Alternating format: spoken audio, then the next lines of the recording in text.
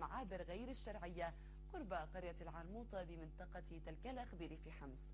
وأفاد مراسل الأخبار نقلا عن مصدر بالمحافظة أن الأسلحة المضبوطة شملت عددا من الرشاشات الثقيلة والبنادق الآلية وأجهزة اتصال متطورة عددا من القنابل اليدوية وكمية كبيرة من الذخيرة.